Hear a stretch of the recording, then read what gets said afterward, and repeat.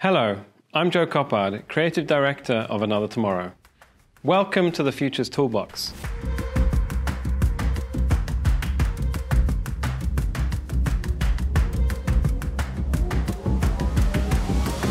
Today, we're going to be talking about prototyping. So, what is prototyping? For us at Another Tomorrow, prototyping is a way of bringing ideas to life so they can be experienced, tested, and iterated into reality. It's a toolbox for creativity, a method for creating magic, and a mindset of exploration that is inclusive, iterative, and ambitious. So, why do we prototype? It's increasingly important to respond to emerging behaviors, trends, and situations with great speed and great impact. The world is also becoming increasingly complex. Technology is combining with culture, climate is affecting policy, and the state of the world just a few weeks ahead is impossible to predict. But by using prototyping methodologies, we can combine critical perspectives to unlock insights, generate ideas, and scale them to fit the right audiences. And we can do it with this speed that is so essential, enabling experiments to become learnings rather than opportunities for failure.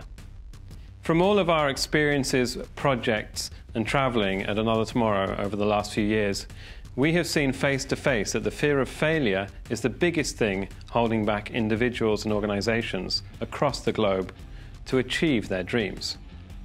Mastering the tools of prototyping can help unlock this fear, help achieve your potential, and help to create bold visions of the future that you want to experience. It helps you to fail faster, to learn sooner, and to grow stronger. And to do this prototyping thing, we find that there are three key things to keep in mind when prototyping. First of all, find the quickest path to the experience. This is about having laser focus on the core aspects of the experience of the idea that you want to portray and making sure to bring that to life in whatever way possible. The second is that doing is the best kind of thinking. Talking leads to theoretical knowledge. Doing, on the other hand, leads to validated learning. So take action, because action leads to insight more often than insight leads to action. The third is that there's no right or wrong. The power really is just going through the process.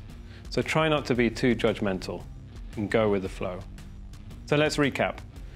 Find the quickest path to the experience. Doing is the best kind of thinking. There's no right or wrong. To dig deeper into prototyping, we're going to put a series of links in the description of prototypes that we love and that we've created. But it'd be really interesting to see the prototypes that you love and that you've created. Uh, so post them in the comments and we can really start the discussion going. And if you found this useful, please like and subscribe to the channel, and then we can continue on this journey of discovery together. So until next time, stay safe and stay curious.